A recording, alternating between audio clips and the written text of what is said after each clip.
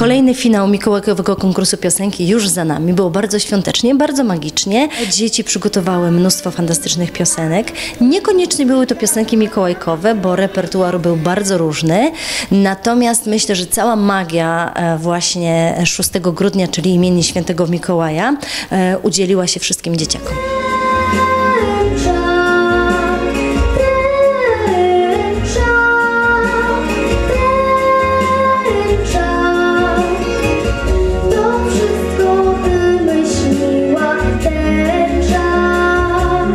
Lubisz Mikołaja? Bardzo lubię. To dla niego dzisiaj śpiewasz, czy dla publiczności? No, dla Mikołaja śpiewam. Jaką piosenkę będziesz śpiewać? Y, dyrygenta. Y, przygotowywałaś się do tego długo? Y, jak to wygląda?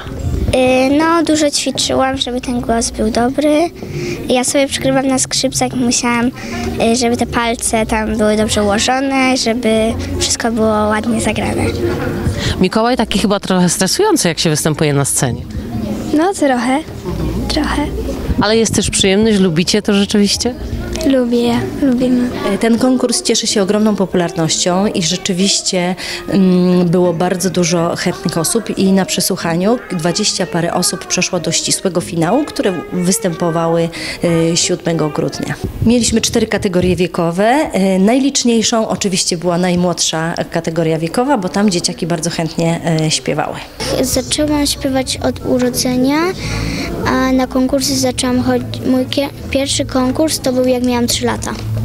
Uuu, to już strasznie długo występujesz. Tak. Czy już się w ogóle nie stresujesz? Nie.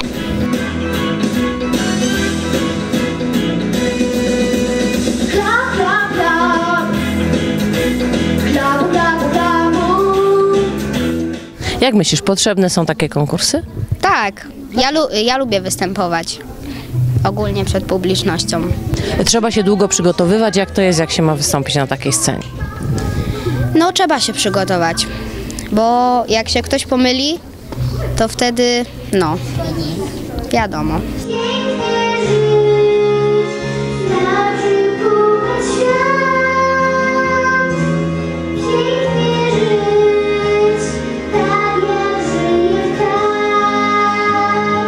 Są tu prezenty, są piękne światła, czyli co, czuć już atmosferę taką magiczną? Tak. E, Mikołaj to taki czas rzeczywiście, wierzysz w ogóle, że Mikołaj istnieje? No, no bo kto by inny, inny wręczał dzieciom prezenty? Okazja jest niebywale radosna, ponieważ są to imieniny świętego Mikołaja, jak wiemy patrona naszego miasta, więc sam Mikołaj prowadził cały koncert. E, Mikołaj oczywiście dla wszystkich dzieci rozdał paczki, ale też e, to jest konkurs tak fantastyczny, że y, każde dziecko, nawet jeżeli nie wygrało tej głównej nagrody, otrzymało od nas y, nagrody pocieszenia.